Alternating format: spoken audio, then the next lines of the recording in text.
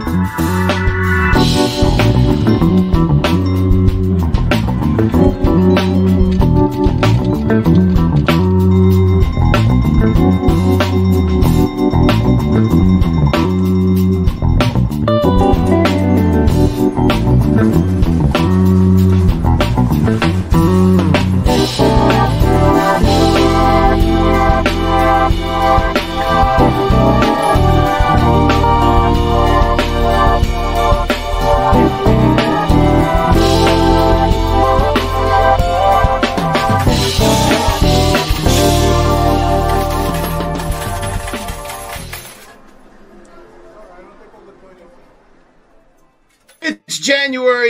11th, everybody. Adam Flowers here. It's Mob Vlog.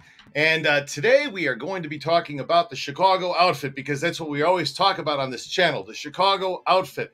We may stray from time to time, subject to subject, but today's specifically the Stardust's connection to Las Vegas, the guys who are running it, and five of them that were indicted. So we're going to go through that. And uh, welcome back, guys. It's Mob. Oh, by the way, it is the 11th of January. This is 2023's first broadcast. Welcome back, guys.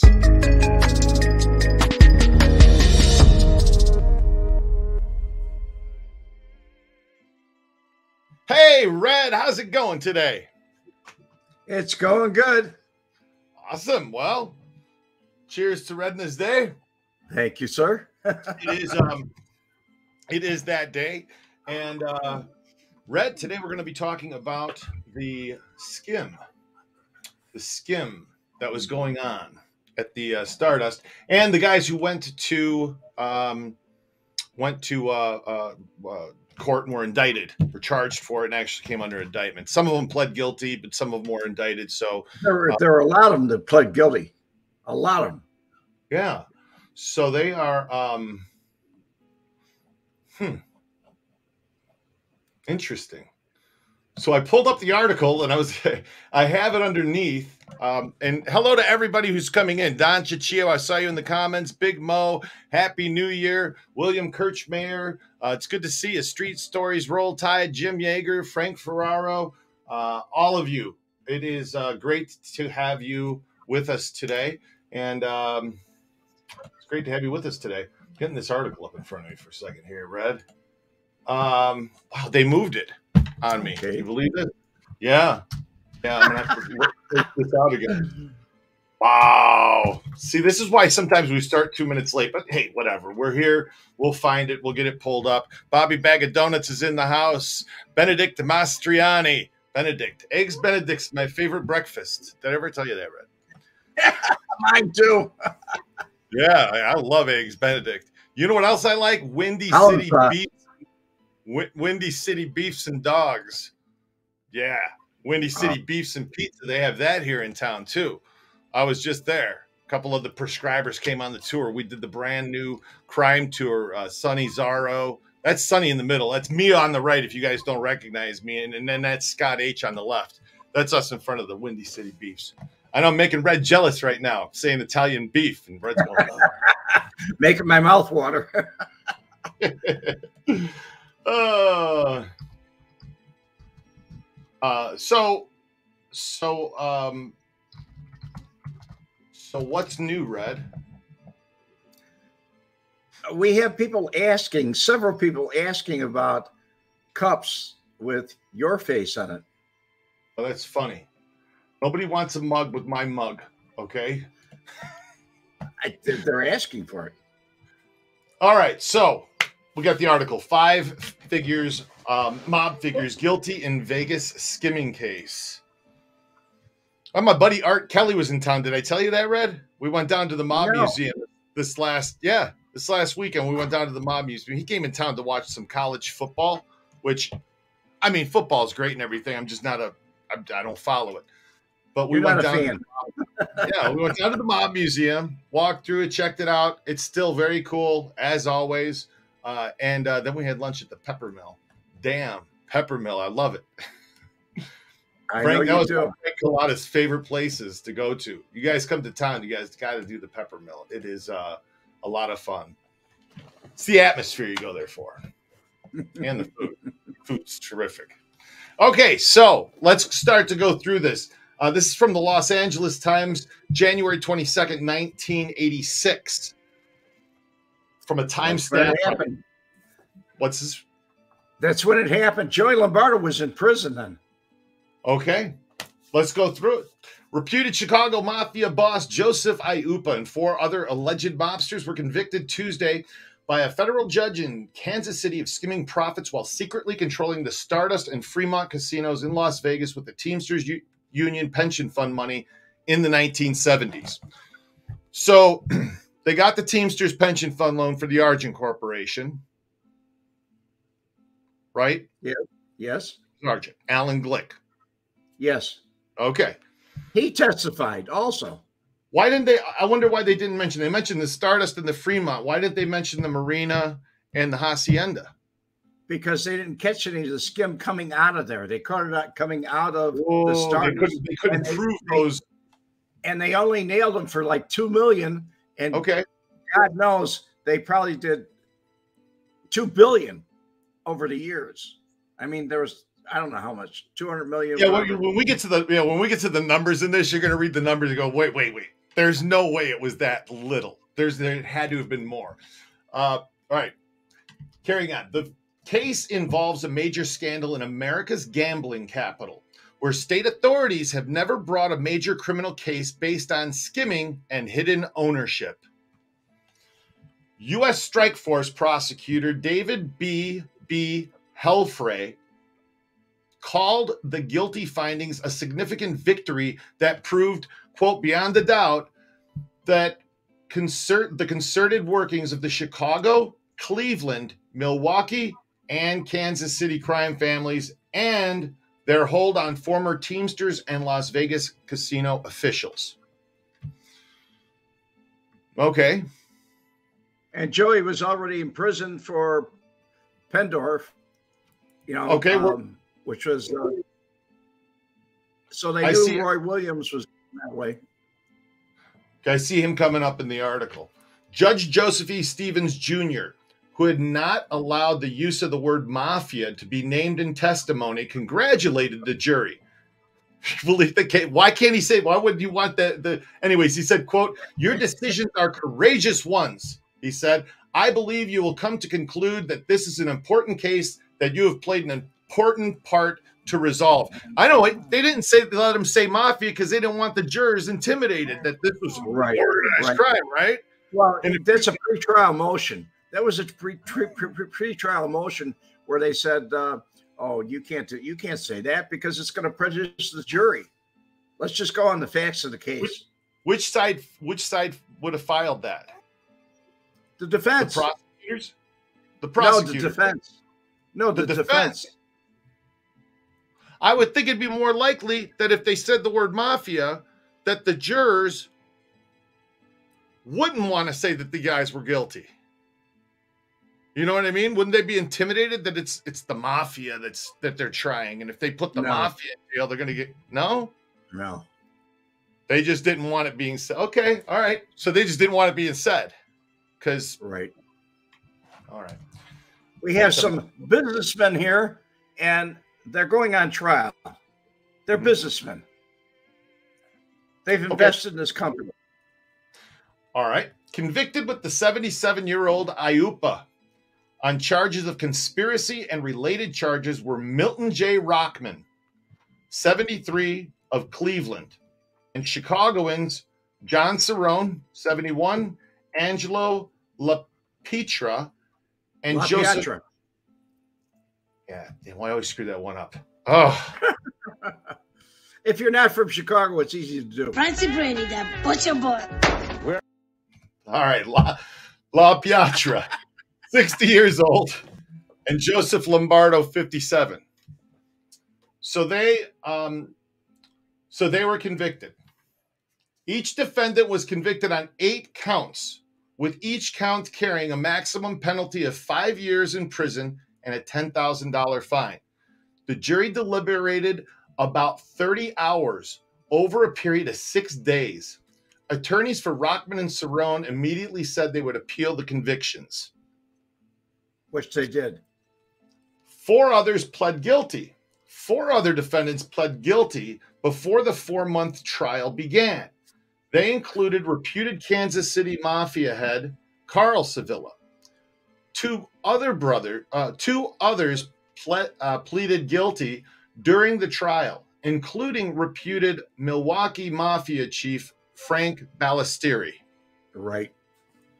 That happens a lot of times. I've watched it happen. In the middle of the trial, they'll just throw in the rag. They don't want to talk anymore, period. they saw their evidence. That's it. That's also who they caught on a wiretap that they think might have bombed uh, a Lefty Rosenthal's car, right? Talking to his son. Like Gary Jenkins is more inclined to believe it was Civella, and I believe right. so too. Yeah. Agosto, no, I, I, Agosto, what's his name? I can't pronounce that correctly. Um, Agosto. Oh, Joe Agosto, right? Yes. Joe Agosto from the Tropicana, who was yes. moving the money to Kansas City or was running things at the Trop. Yeah. Was an entertainment director over there. You know why they did that? That entertainment director title, Red? No. Gaming Commission had a gaming commission had rules, and the Nevada Gaming Commission said you can work in a casino, but if you have ties to organized crime in some which way, you can't. You can't work in a casino unless you're an entertainer. Because people like Frank Sinatra, Dean Martin, all they did was worked in mobbed up places. So they knew these guys. So they were and yeah, and they were mobbed up themselves. So it was it was a way, it was a, a workaround for them. Um, from what I understand anyway. Two additional defendants, lawyer sons of Balistrieri, Joseph P., 45, and John, 37, won dismissal from Judge Stevens after the government finished presenting evidence. Another defendant, Anthony Spilotro, the Chicago Chicago group's alleged overseer in Las Vegas, is to be tried later. And I would believe that it would have been um, Oscar Goodman that would have come in with the pre-trial motion to say we don't want mafia mentioned here. Maybe I didn't. I didn't see his name in this article that he was one of the. Oh, he he worked on the pre-trial motion, oh, and okay, Tony had. Uh, okay, although the indictment specified skimming or secret, secretly removing two million dollars from gambling proceeds before taxes were paid on it, federal law enforcement officials have estimated that many times that amount were siphoned from the casinos during the ownership of Alan R. Glick of San Diego. And it had to have been more than that. Because oh, they yeah. were saying 300,000. I, I was told the figure 300,000 a month. And I don't know. I think it came from Battle of Las Vegas, Dennis Griffin's, which was mainly set in the 70s that he was talking about. Um, but it could have changed and fluctuated through time. But still, 300,000 a month you're talking about 2.6 million, 2 point roughly 3 million a year. more than that. I think it was more than that. I really do. Well, they did it for how many years? 15 years? Well, not only that, um, according to sources, they said that uh, the money was brought to uh, Leftenthal, Rosie Leftenthal, Leftenthal, Lefty Rosenthal's house, and then it was all, you know, divided up to where it would go. So oh, okay, so no, that that that's not that's not how it went. And I, the other had, thing is, Rosenthal was not at the trial. Period. My understanding is Tallarico, Joseph Tallarico, was the mule. He was the courier, went back and forth. The guy who cleaned, the guy who got all the money, rounded it up, wasn't Lefty. It was a guy named Phil Ponto. But didn't they bring it to his house? Didn't they bring it to his residence? No, they would have never taken it anywhere near him, Lefty. Okay. That's my understanding. That's what I've been told. And I, because I thought that I had that correct. Uh, and, and I had to change the, the script around on the Vegas mob tour just to make sure that everything is, uh, you know, accurate. So David Adamovich, the great Throwdini. How you doing today, David? I'm glad to see you're tuning in again.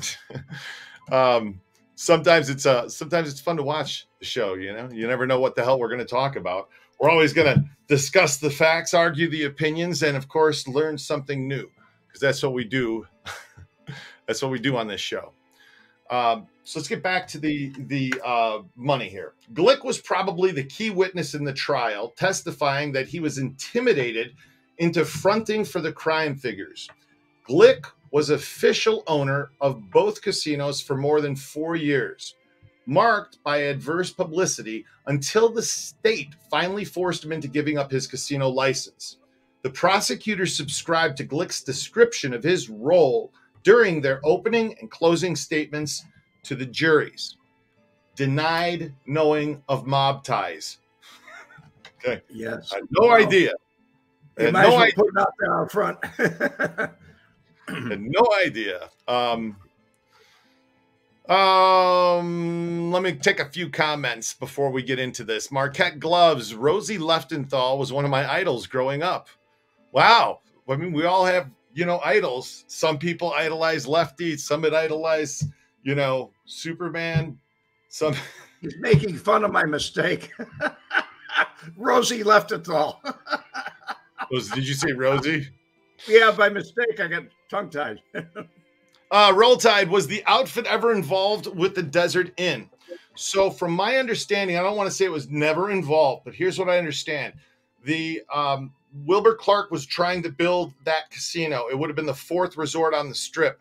It uh, in 1948, um, after World War II, Mo Dalitz was honorably discharged from the uh, uh, from the army, and uh, as a second lieutenant first lieutenant, sorry, first lieutenant, came to Vegas and found the, the Wilbur Clark struggling with the casino, just like Bugsy had done to Billy Wilkerson. But Mo went to the Cleveland mob, and that's where he got the loan to finish up the money to open up the Desert Inn. So the money came from Cleveland that opened up the Desert Inn. And Mo Daly, probably- as far as it was probably okay by Jimmy Hoffa himself. I, I, I would I I don't know the exact source. I know it was Cleveland though that got it.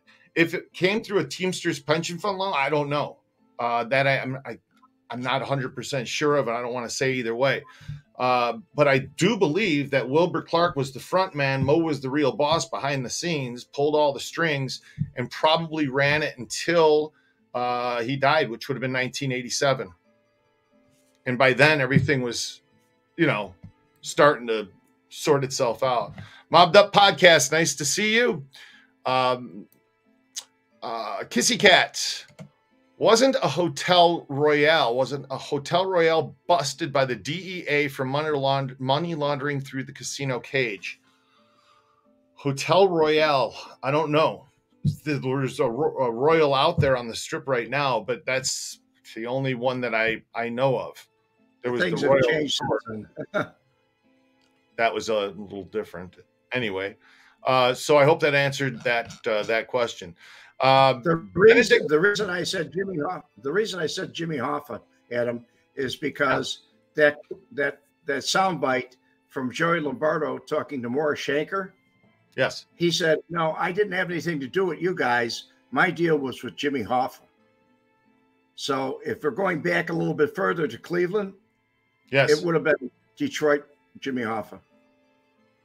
and Shenker was Cleveland, correct? No, Or he no? was uh, Morris Shenker was St. Louis. St. Louis. Okay. Uh, Benedict Mastriani. Don't forget this weekend, Tony Accardo's great grandsons, Nicky and Joey, are playing in the NFL playoffs. One of them is going to win Defensive Player of the Year. Wow. See, there's some athletes uh, right there that uh, have a little bit of um, Chicago uh, history, we might say. As Joey one time for You're breaking up, Red. What, did you just say? And Red's froze with a funny I'm expression on his face. You're back. your picture's breaking up. Go ahead. Yeah, you were you were getting fuzzy there. You your connection's a little slow.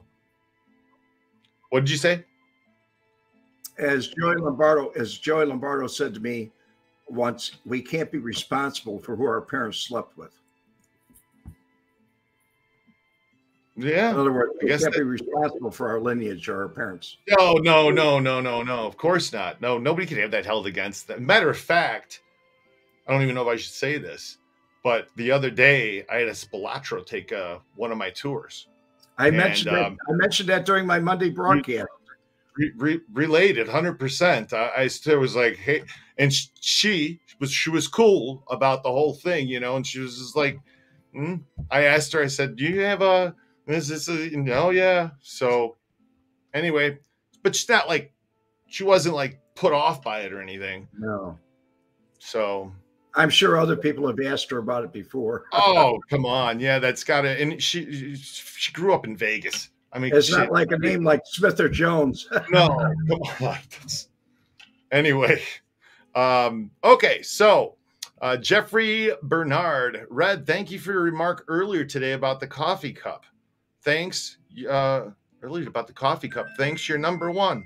You're number one, Red. Yes, he's he, he's one of the several people that asked for a cup with your name on it or your face on it. And I told him, I said, Adam was talking about Adam was talking about at one time having his face and my face in the same mug. That's all I said. Ah, uh, Julian, do you know anything about the anything about the Las Vegas jail siege? I do not. And it's funny that I, I I don't that that doesn't ring any kind of bell in my head because for the last year, uh, we've been working diligently on putting together a new tour, and it's the Vegas Crime Tour. And would you believe that I got to do the very very first crime tour uh, this last week? two prescribers were in town. One's from Florida, the other's in from Texas at the same time, and said, We want to get together and go do something, which we did. We did go do something. Um, what we did is we went and uh, we uh, hung out and had some Italian beefs over at Windy City Beefs and uh, Pizza. And uh, and then we did the crime tour. And they, they thought it was that? Hey, everybody, we just finished our very first Vegas crime tour. I'm Scott H and I got Sonny Zaro with me. What did you guys think of this tour? I'm just worried about you driving.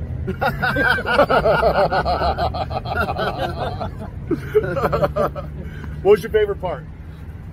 Favorite part? Well, let's see. Don't give too much away because this is. Uh... Okay, so uh, Adam hits on all the major crimes in the city. If it happened here, Adam covers it both in video and his excellent content, knowledge of the uh, subject matter, and you get to see where all this stuff actually happened. But just say, we'll drop a few names here. We got Michael Jackson, uh, John Wayne Gacy, the famous Mandalay Bay uh, uh, sniper incident. Uh, this is a crime tour, people. You're going to hear about and see crime scenes.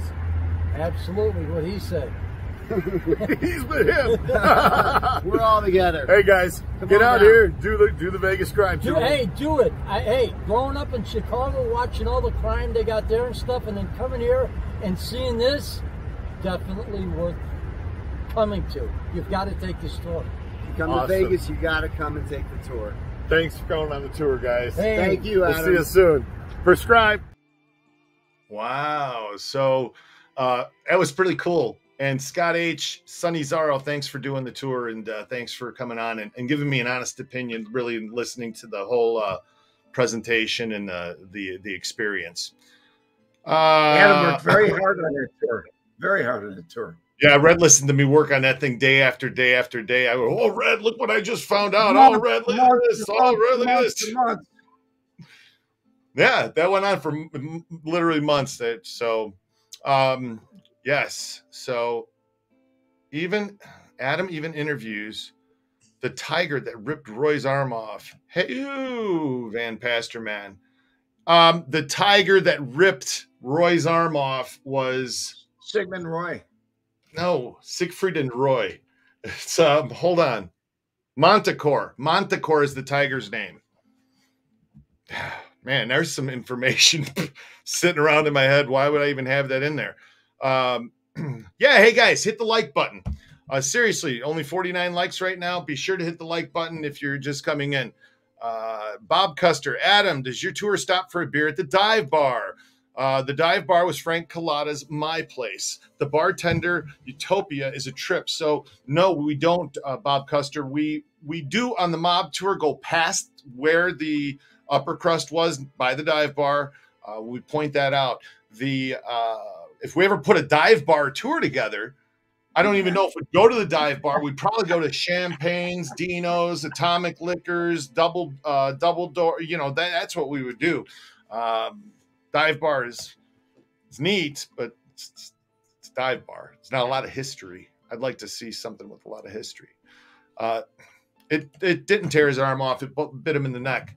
That's right, Don. Uh, they said they was trying to carry him off stage, and uh, because Roy had slipped and was hurt. The truth of it was the night before they were partying.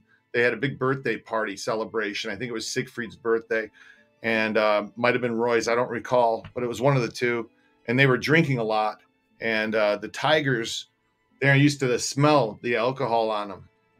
And when Roy went to correct the Tiger, and because normally you give him a good whap, okay, but PETA and all these other organizations, eh, you got to kind of, you know, during the show, be careful as to how strongly you correct. And I guess didn't correct strongly enough that the tiger didn't take him seriously enough. You know, so well, most of the time with a tiger or a lion, a cat, a big cat, if you snap the whip and just crack it near them, they jump. Because when you're yeah. training, you actually hit them with it. Sure, so if sure. just a bullwhip it, it's gonna it's gonna crack make, make them enough to till I'll listen. it's gonna get your attention. Do you know about Sunrise Manor? I live on Hollywood and Bonanza. No, Julian, I do not know about Sunrise Manor. Um, it sounds familiar, like I may have heard a story about something called Sunrise Manor. No, I'm not sure what you're uh, what you're referring to. Uh, it was Royal Las Vegas. Back to the Royal Kissy Cat. Busted 1982 by doing drugs. Yeah, I don't know if does the is Royal Las Vegas. Excuse me, Royal Las Vegas. I don't even think exists uh, any longer. But that, uh, yeah, Julian, it is a fun tour. Really, it uh, it is. Um, a mob bar tour in Vegas would be epic. Bob Custer, yeah, no, not happening. just not happening. I mean, we it's out with twelve locations and only made to six. yeah, right. Exactly. Uh, yeah, Sunny Zaro. Don C. The Tiger said, uh, thought Roy was in trouble. So the Tiger said, Here, hide in my stomach. Yeah. Yeah. It's Tiger said, You talking to me? Huh? You talking to me? it's exactly what the Tiger. Oh man, nah, slaps out there, man. Oh, jeez. the Tiger what was that Ralphie May line? The Tiger Tiger got to him said Tiger was like, "Ah, it's great." like Tony the Tiger. yes. Anyway, the old commercials. So the Oh gosh, does Atomic Liquors still have Frank Sinatra's chair? Kissy Cat, I don't know. I don't. If there was a Frank Sinatra's chair, if there is inside Atomic Liquors, I would think it's still there. Um, that's that would be something that they wouldn't get rid of. So I am not anything. Uh, anything about Joey Cozumano? No, Julian. I'm sorry. Um, but we've taken some. Some. Let me go through a couple more here. Um, Rocco Roberto, welcome in, man. Never saw your name before. It's nice to have you with us. Joseph Collada, Red. Did Paul Moore ever work for you at the bookstore? No. No, doesn't ring a bell at all. would. Okay. Uh, only tiger I would trust was the dog on the Brady Bunch. uh, Rick, yeah, lots of fun, Adam, getting busted DUI with a bunch of drunks in the bus. Exactly. No, I've I've I've thrown this I've thrown this idea to my partner. Hey, let's do a dive bar tour. No, it's just there's too much liability, man. You take people around and you take them to six bars and they have a drink or two at each bar. And then you bring them back somewhere and you drop them off. You go, oh, we're going to drop you off at the pepper mill now. And then 30 minutes later, they get in their car and they go kill four people in an accident. Oh, yeah, who got these guys all liquored up? Oh, Adam did. I saw, took them around. I, I saw the, I saw the traffic on your uh, Vegas specialty tour oh, dash did cam. You, did, did you see that? Yeah. I'm, i swear to God, we almost got killed. If I pay attention, I swear to and God. That was broad daylight. That was broad daylight. I saw a lady get get crushed. Yeah, then she died. I saw it happen. I, it wasn't it was block in front of me. I heard it. Boom! When I went, oh, this isn't good. I got up there. I went, oh, that's not. Same thing. You never in Vegas. You never go into the intersection first. Light turns green. You sit there. You look to your left. You look to your right for oncoming going the wrong way. Look to your left again, and then you go because they fly through the light three seconds after it turns green. Somebody will come through 50 miles an hour. It's crazy all the time. Anyway, let's get back to the article. Um, so we get this this part done.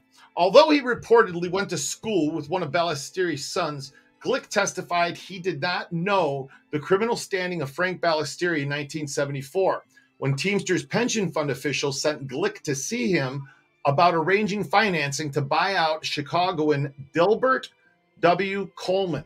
Coleman was the controlling stockholder of Recrion, Recrion Inc., owner of right. the Stardust in Fremont. They were the original, and then the Argent bought it from Recrion.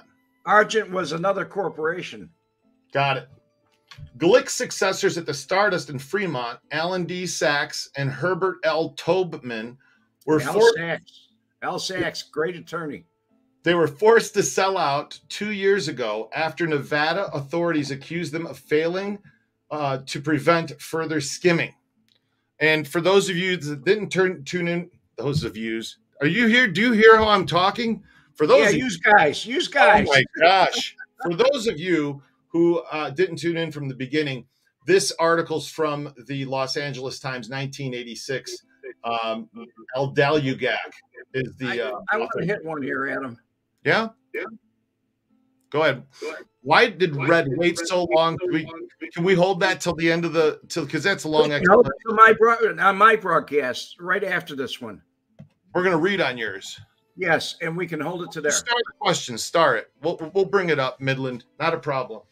Um, yeah, because that that's a long explanation and, and I, I kind of want to finish this article. I only have a few more paragraphs. So, through the defendant's influence, Glick testified he obtained an initial 62,750,000 from the Teamsters Central States Pension Fund to buy out Coleman and the smaller stockholder of Recrion, uh, Recrion, sorry, formerly Parvin Dohrmann Co.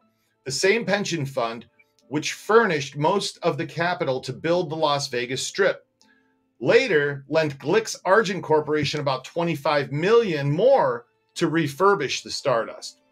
The 80 odd witnesses at the trial often were upstaged by secret, court authorized recordings of conversations among some of the defendants and other persons who used code names in referring to themselves and Las Vegas public figures. Along the, with the recordings were projections on a large screen of notes kept by one defendant, Carl DeLuna, who uh, pleaded yeah. guilty during the trial. That's the guy who supposedly they find the notes in the house. And I got to go out there again. I'm going to keep records. He's guilty. Okay. In the end, in the end, the jury accepted the prosecution's contention that all of these pieces added up to a mosaic of conspiracy and shared diversion of profits skimmed without payment of taxes. X did, he, did he get him on racketeering too? Or just conspiracy? Conspiracy and shared diversions of profits. That's racketeering. Okay. Isn't it? Well, not necessarily. It could be, depending on the the reputation of the individuals charged. Well, this is this is this is the successor Sachs and Tobman. Okay. Right? Yes. Testified. Yeah, to buy the Coleman out. Okay, so uh, ex Teamsters chief testifies. Among the highlights of the trial was the testimony of former Teamsters president Roy L. Williams, who became the first person in such a position to testify that he took orders from and was paid off by a mafia chief. That person, the late Nick Civella, head of the Kansas City organized crime family, died in 1983 after being released from prison. In his closing argument, Helfrey told the jury that Williams' testimony brought home the tremendous influence and extent of the conspiracy these defendants exerted. Carl W. Thomas, former Las Vegas casino overseer, testified that he provided the expertise to skim money from the Stardust in Fremont, as well as the Hacienda and at Circus Circus under former owners. Charges in the charges in the Stardust case were dropped against Thomas in return for his cooperation. However, Now, Circus Circus was more Shenker out of St. Louis. So Thomas, the former casino overseer, testified that he provided expert the expertise to skim money from the Stardust in Fremont, as well as the Hacienda and at Circus Circus under former owners. Charges in the Stardust case were dropped against Thomas in return for his cooperation. However, he is serving a 15-year federal prison term imposed in 1983 mm-hmm. on related skimming case involving the Tropicana. So that Carl Thomas was tied in with everybody from Jay Sarno to the It was a web. It was a web. It was very difficult to put that piece together. Other major witnesses were several convicts turned informer. Among them, Aladena, Jimmy Fratianno, Ken Eto, and Angelo Leonardo. Who was Angelo Leonardo? I heard the other two, Jimmy Fratianno and Ken Eto. Who's the other two? Or I the do other not one. know. I really don't. Angelo Leonardo? Okay. I don't know. He was another uh yeah, that was another uh another one. All right, so what are we doing here? We have some more. Oh man, uh looking at your um Sonny, you can't do that. I have some great stuff. Um PWI, don't believe the crap JC Jerkoff has to say. Cat, I thought you were none. But you guys are all off to your own over there on the side. I have no idea what is even going on in the side comments right now. They have their own conversation going on. Seriously, let's let's do this then. Midland Power Wash. Red, why'd you wait so long to speak up about those murdered boys? It was very easy. I spoke up about it way before. I told Talking about the Pete FBI. Peterson Schussler murder. That's correct. I told the FBI.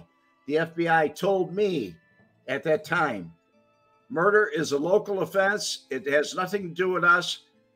Just don't talk about it. Leave it alone or you get yourself killed. That's what I was told. Later on, I had a, um, a disagreement, major disagreement with the FBI, and I went to an ATF agent.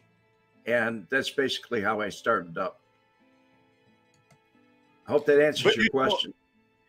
But Red had told him long before, years. Oh yeah, John Osborne went to court in the second trial. John Osborne went to court. John Osborne, and he had notes, and he said, "Yeah, he told me all about it way back when in 1971." I knew we were going to learn something new here. Um, thank you, outfit boss. Angelo Leonardo was the underboss of the Cleveland family. Um, uh, Ann Donnelly, brilliant, great job reading Adam, and fantastic Nook. Red and you have lived an unreal life, and yet you remain humble and a nice guy from Cork. A nice guy from Cork. He's from Cork, County Cork. He's from Ireland. Oh, Ann Donnelly. Oh, from Cork. Gotcha. Uh, Gotcha. Tony Yaris grew up in Old Town area, but stayed north of 1500 North Wells. Tony, welcome in. Uh, it's nice to uh, nice to see you. So Angelo Leonardo was the underboss, according to Jason Diamond, of the Cleveland family. So thank you guys for answering that, uh, Jason and Outfit Boss. Uh, appreciate that. Uh, Bob Custer gets into it a little further. He was born in 1911 through all the way to 06, March 31st. He was a mobster who became the acting boss of the Cleveland crime family in the early 80s. Turned informant in 83, pal at Jimmy the Weasel. Thanks, Bob Custer. Uh, appreciate that. So, FBI stands for famous but ignorant. Guys, coming up with some nice acronyms here. um, I'm not going to Wow. touch it, but you're close. You're close. no, I'm yeah, yeah, I'm not. I'm not. You know what? I'm not going to go there. But there's a whole lot going on. You know that we're looking at saying, what the hell? Like, uh, they need to be. They need to be looked at. Our our our. Uh, yeah, our bureaus. Kissy Cat Red walking the Our Grand. Canyon is wild. I bet you were hurting all over. Oh, you talked about the Grand Canyon this week earlier on Monday. huh? Yes, and it, I, it, you know, I in the book I, I talk about how the cement floor damn near killed me. Well, believe me, Mhm. that walk down to the Grand Canyon damn near killed me too. I just laid in bed. Wow. That was uh that was when you came out here to uh to Vegas to bring those shoes back. It was on my return, my return trip. Yeah. That was your yeah, your return trip. Uh Jimmy Weasel, Jimmy the Weasel was a pivotal informant. Um we should have to we should we should look into that and do do something. Uh Jimmy the Weasel's not in New York though, isn't he? No, he was from Cleveland. Cleveland. He was Cleveland. So Yeah. maybe we should talk about his ties with uh, Chicago and who he was. Do that as a I know Frank Schweihs was uh, uh, dispatched to murder him, and he said he caught a glimpse of him. And as soon as he caught the glimpse, he went straight to the a payphone, called the FBI for help. it's famous but incompetent, Tony Johnson said. Not ignorant, it's incompetent. Ah, Don Ciccio, FBI, forever, forever bothering Italians. FBI. I don't never- know. They bother. They, they don't discriminate. They'll go after anybody. Rick Charlton, female body investigator. How about fumbling, bumbling investigation?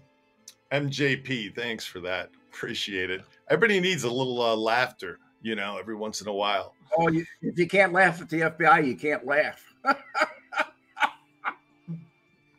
Yeah, Van Pastor, man, we might have to look at this. Jimmy, Jimmy turned after killing Danny Greene. Ah, that was that car No. bombing. No, that no, it was uh, Bompensiero, the bomb that he murdered.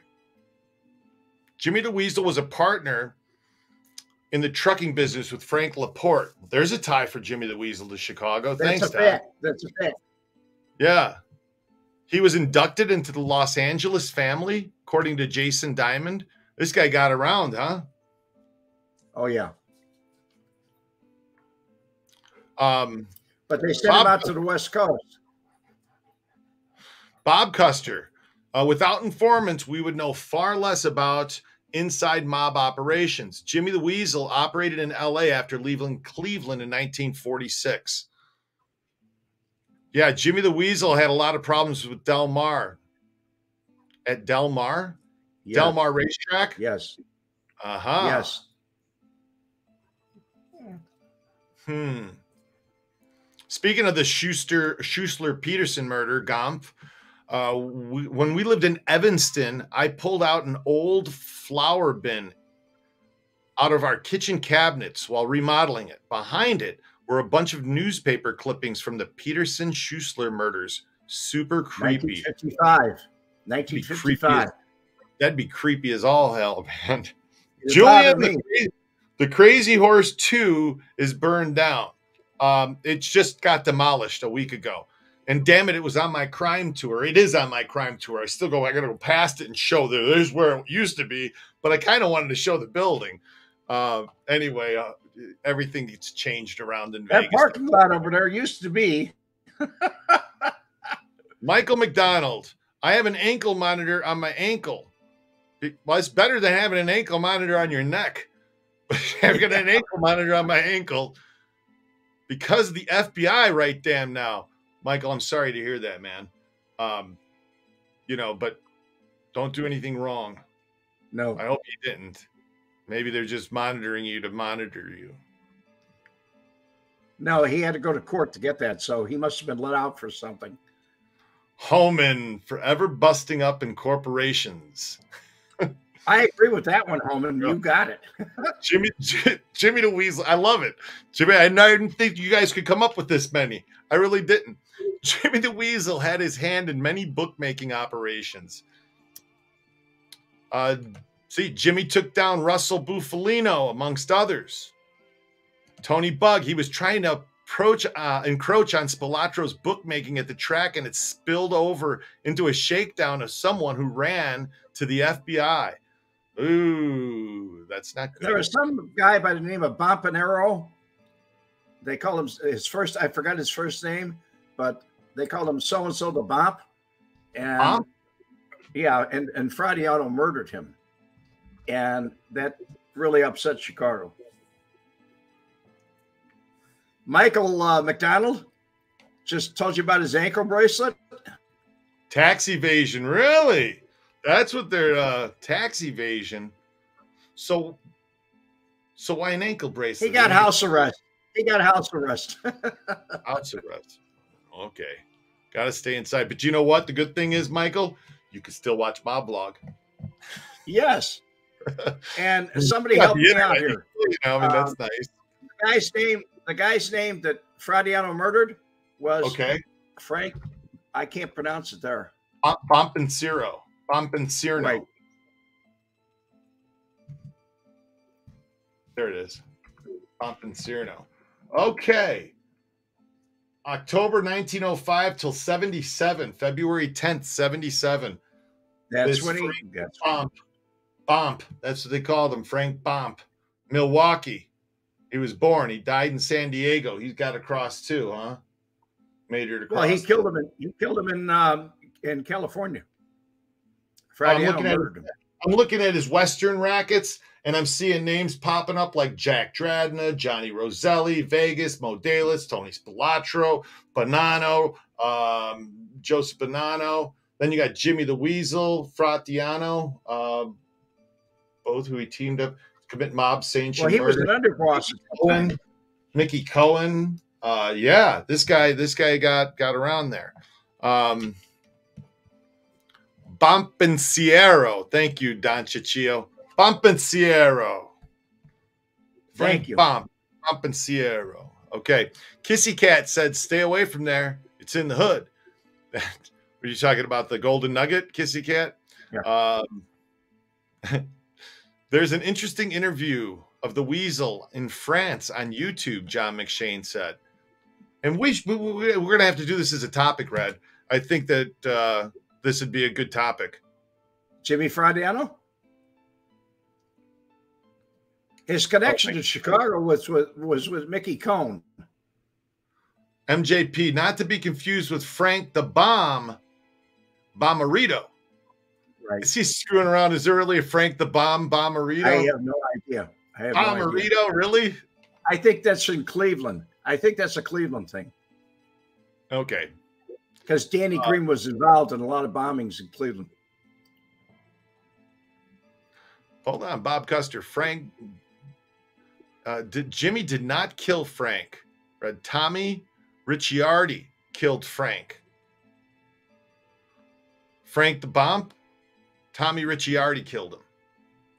No, All right, hold on. Let me just see if it says anything on his Wikipedia. Uh, death anywhere on here? Death. Equipped with a they didn't have the okay to do the murder, and they did it. Thomas Ricciardi killed Bompensi- How do you say it again? Bompensiero. Um, it's what it says on Wikipedia.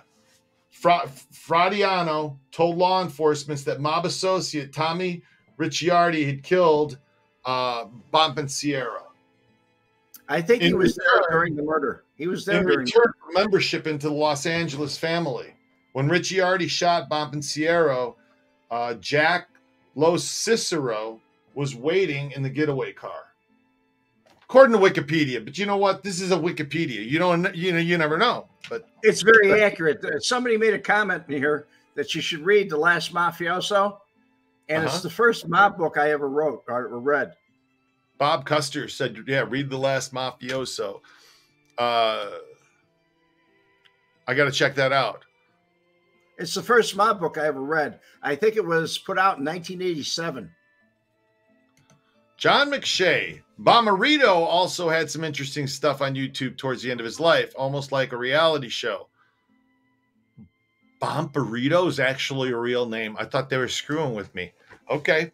So um, that that's correct, Adam. Okay. Testa the chicken. Testa the chicken. Man, the head of the Philly mob was killed by a bomb in Philly. Testa the chicken man. All you got to do is mention bombs, and that's it. We're all over the United States now. Sean Parker, Gianni Russo. And with that, I think we've had a great time, Red. We're going to do a little reading of Red's book uh, on his channel. The link's below down in the description if you guys want to uh, come along. We're on week nine of reading his book, and we're almost through this whole thing. Sorry we um we weren't here last week and had to do a do-over, but uh, I had uh, Red. Well, first off, Red didn't have power. Uh, tornado. We had tornadoes, not hurricanes, but tornadoes. Tornadoes knocked out power, so he was without power till six his time, and uh, I went live. I was going to go live. I didn't even know where Red was, but I started to go live as you guys saw the intro, and I never did. I didn't get a chance to do a mic check with Red, and normally we do that. And when I went to check the mic, I looked and it was it wasn't working, which means I got to reboot. And so instead of just leaving the broadcast, rebooting, and coming back in, and maybe some of you'd still be there, I clicked end, and then there was no going back to it. So that's what happened. And uh, sorry about that, guys. But every once in a while, I don't think I was too bad for two years of broadcasts with Red. Two years. No, I've done like a hundred broadcasts. Yeah. So I probably missed more shows than you have by accident. It's all good. I, I don't think only once. Anyway, see you over there in Red's channel. Red, it has been fun. It's been a good time, and I'll see you. See you soon. God bless everybody. Thank you. Mob vlog.